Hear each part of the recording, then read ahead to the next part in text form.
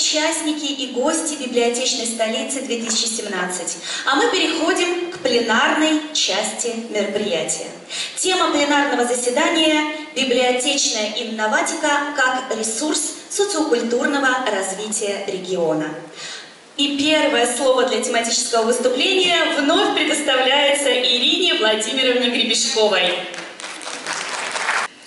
А, культурная столица, культурный потенциал, наши возможности, которые у нас есть, которые мы пытаемся сохранять, развивать и использовать в своей работе. Коротко я расскажу сейчас об этом, конечно, в своем выступлении. А, обозначу только какие-то самые видимые и значимые, наверное, вещи. А, ну, уже одно то, что Тихвин э, в этом году назначен библиотечной столицей, говорит о том мощном историческо-культурном потенциале, который заложен в нашем городе, в его человеческих ресурсах. И э, для этого у нас есть и возможности, и желания. А, культурное пространство является одним из важнейших факторов, обеспечивающих, собственно говоря, главную задачу культурной политики – это вовлечение личности э, в, э, в общество, интеграция в этом обществе. Именно культурный ландшафт, исторический опыт, закрепленный в мифах, в мифах, легендах, ритуалах и обычаях, э, помогает формировать идентичность человека и тождественность какой-нибудь из социальных групп, с которой он себя ассоциирует. Поэтому и для нас является, собственно, главной задачей это задача сохранения, формирования культурно-исторического пространства, возможностей, умение использовать эти культурные возможности, этой территории, отбирать познавательные траектории, интегрировать их вместе. И вот эта интеграция, мы надеемся, и дает тот желаемый результат, к которому и мы идем все вместе. Конечно, нам повезло. Мы живем э, в городе с многовековой традицией, а, который известен уже на протяжении нескольких столетий. И, конечно, за это время этот город э, дал э, стране, миру целую плеяду замечательных имен людей, которые только умножали ее богатство и славили ее славу, извините за такую тавтологию. Это известные имена, такие как Римский Корсаков, Заболоцкий, Бредников, Мартвинов, а, Лохвицкие, Витты, который тоже связан с нашим городом. В общем-то, этот ряд можно продолжать еще и долго. Это их наследие в городе сохраняется, поддерживается и популяризируется. На территории э, Тихвина, Тихвинского района, конечно, расположена масса э, памятников разного уровня, разного значения, разной известности, но от этого не менее нам дорогих Э, такие как и самые известные бренды Тихвинский Успенский монастырь и менее известные, такие, например, как Полковая церковь, ну, тихвинцы знают об этом, Спасо-Преображенский собор, собор городской, в котором когда-то венчалась Надежда Лохвицкая, будущее ТЭФИ. А, это и э, почтовая станция, в которой останавливался Достоевский и декабристы. Это и район, который поддерживает такие же свои точки важные для своей э, культурной составляющей. Вы буквально вчера были в близлежащем районе, где находится Вепский, поселении, где находится Вепский лес, а, наш природный парк, который используется как экологическая тропа, туристическая тропа. И там же находятся знаменитые объекты показа и э, Успенская часовня, и водопад, и так называемый дом пряник. Безусловно, это многое другое, ну вот буквально здесь у нас на слайдах э, дом купца Воложбинского, который тоже знаменит и является примером архитектуры. Все это говорит об уникальной среде, которая есть в Тихвине, и э, наших э, задач по ее, повторяю, сохранению и развитию. Развитие сферы культуры в Тихвинском районе проходит, естественно, по двум программам. В первую очередь, это а, программа развития сферы культуры в Тихвинском городском поселении, в Тихвинском районе. Общая составляющая суммарная примерно где-то около 90 миллионов за 2016 год. А, конечно, э, мы пользуемся возможностями вхождения в программу э, развития культуры в Ленинградской области и проводим совместные фестивали и совместные форумы. А, на следующем слайде представлена сеть учреждений э, культуры района, куда входят муниципальное учреждение техническая централизованная библиотечная система с шестью филиалами, муниципальное бюджетное учреждение библиотека социокультурный центр ДЭФИ, восемь культурно-досуговых учреждений на селе и одно в городе, муниципальное учреждение Тихинский районный дом культуры с тремя филиалами. Два учреждения дополнительного образования, детская школа искусств имени Римского-Корсакова и детская художественная школа, а также э, два наших партнера, э, де юра, которые являются государственными учреждениями, но, конечно, наши друзья, без которых культурная палитра была бы абсолютно неполной. Это э, наш Государственный дом-музей имени Римского-Корсакова и Тихинский историко-мемориальный архитектурно-художественный музей. Э, в учреждениях культуры э, нашего э, района действует более 200 формирований, клубных, любительских, инклюзивных, в которых занимается почти 3,5 тысячи человек. Эта работа охватывает все слои, от школьников до людей третьего возраста, как теперь говорят, и в течение 2016 года в учреждениях культуры Тихвинского района состоялось почти 4,5 тысячи мероприятий разного формата и разного уровня, которые по составляющей посетили более 200 тысяч зрителей. А, конечно, проводить такой массив мероприятий могут только люди, которые постоянно совершенствуются и постоянно работают над своим а, профессионализмом. И этому внимание уделяется достаточно серьезное. На протяжении многих лет в Тихвине работает школа профессионального мастерства, в которой занимаются специалисты разных областей культуры, не только Тихвина, но и Ленинградской области. А, традиционные Тихвинские учреждения культуры становятся участниками-победителями ежегодного областного конкурса профессионального мастерства «Звезда культуры». Так, например, в 2016 году победителем Ленинградского областного ежегодного конкурса профессионального мастерства «Звезда культуры» стал проект «Библиотечный дворик» муниципального учреждения Тихинская центральная библиотечная система, с которой вы сегодня э, сможете познакомиться и увидеть. Э, важнейшим компонентом культурно-образовательного пространства является и событийный сегмент. Он наполняется как уже традиционными устойчивыми мероприятиями районного и российского уровня, такими как фестиваль э, «Красота земли Тихвинской», конкурс-фестиваль сельских поселений «Деревенька моя», концерты колокольной музыки в Большом Успенском мужском монастыре, э, детско-юношеский художественный фестиваль «Тихвинский лель», э, фестиваль духовной и духовой джазовой музыки «Сентябрь в Тихвине», фестиваль «Ведушка. Кукла былого к будущему», так и появляются уже такие проекты международного уровня, которые возникают совсем недавно.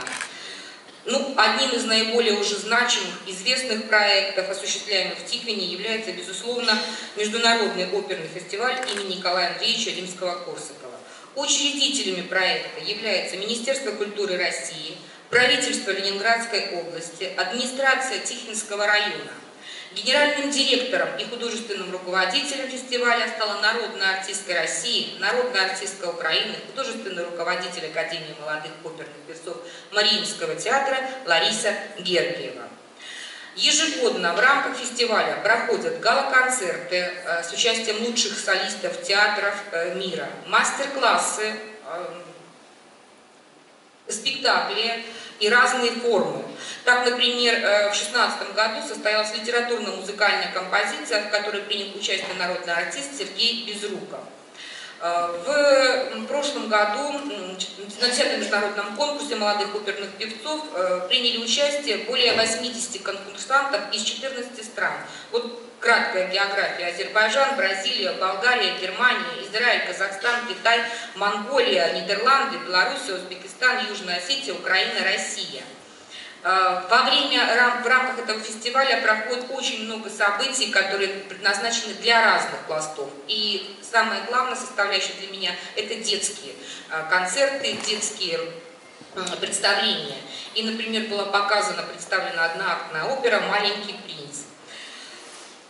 Этот фестиваль живет, развивается, и уже в этом году, в светлое пасхальное воскресенье, 16 апреля, в Тихинском дворце культуры в нашем состоялось открытие камерной программы 16-го Московского пасхального фестиваля, которая стартовала именно в Тихвине, а потом продолжила э, свое движение по всей России. И были задействованы такие города, как Гатчина, Калининград, Москва, Тольятти, Ярославль, Якутск, Мурманск и так далее. Это продолжилось больше, более месяца.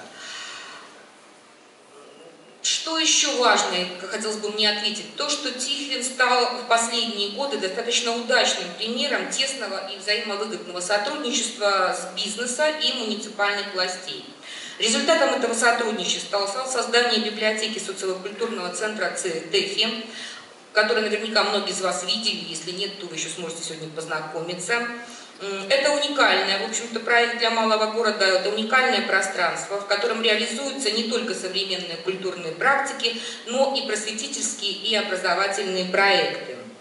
В 2016 году э, в ТЭФе э, открыт доступ к информационным ресурсам президентской библиотеки имени Ельцина, имеющим научное и образовательное значение.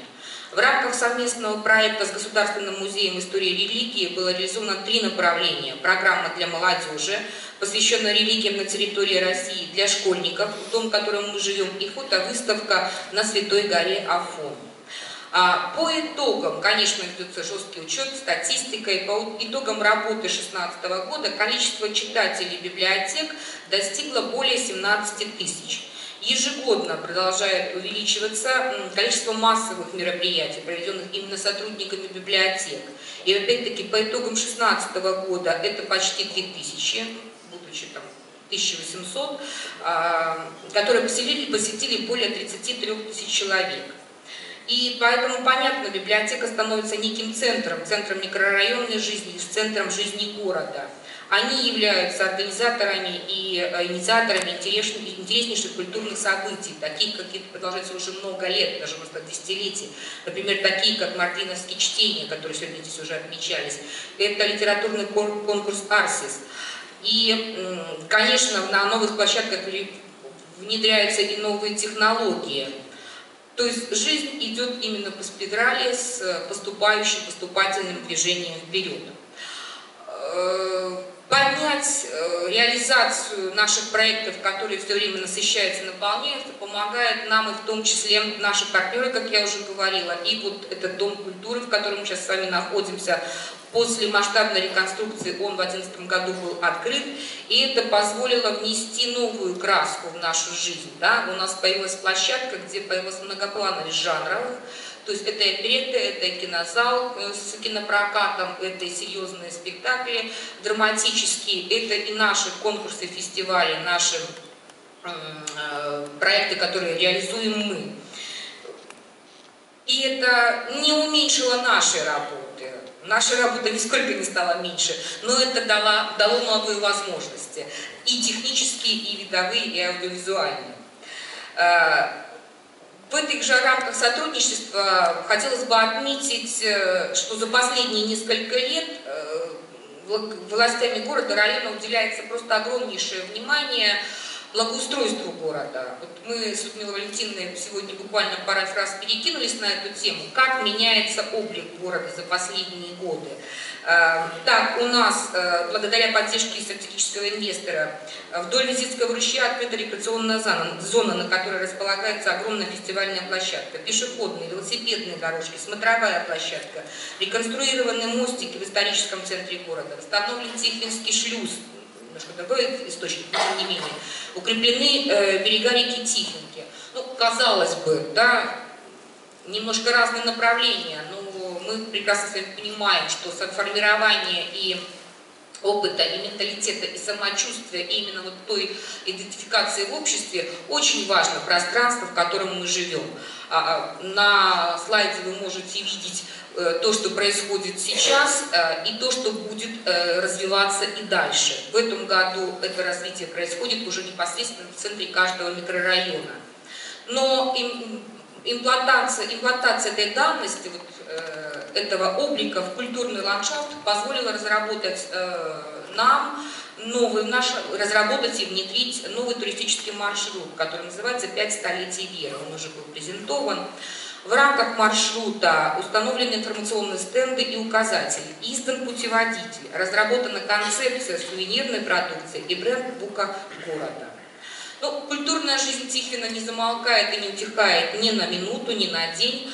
А, сейчас мы опять в подготовке, мы готовимся к масштабному событию, которое состоится 8-9 июля, это седьмые русские гантейские дни мы буквально на финишной прямой, поэтому, пользуясь случаем, я вас приглашаю посетить наш город, будет много интересного, много необычного.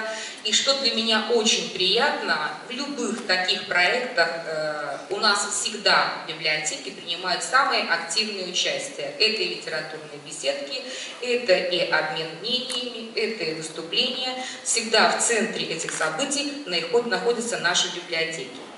А, Все перечисленное выше я для себя называла бы это э, культурно-социальной плацентой, в которой мы живем, где мы формируемся и познаем тот социальный опыт. В этом пространстве мы учимся воспринимать сложные жизненные явления, сглаживать проявления социальной и материальной стратификации, формировать гуманистическую направленность. А это, наверное, самое главное предназначение библиотеки, как э, того я не хочу сказать, это заведение, того формирования, того симбиоза, который несет вот этот самый главный потенциал. Поэтому еще раз спасибо большое всем, кто принял участие. Мои слова признательности, благодарности за ваше присутствие здесь. Ждем ваших идей, ждем ваших практик, любим вас и ждем вас всегда. Спасибо.